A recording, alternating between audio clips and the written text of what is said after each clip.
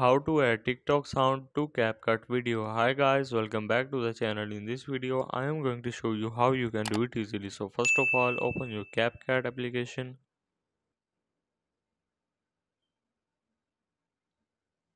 Once you are in just select your desired video.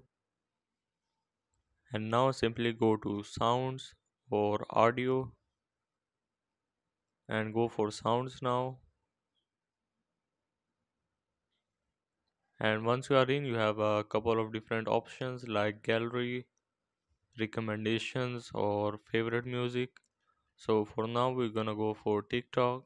Simply sign in with tiktok click on it. And now click on authorize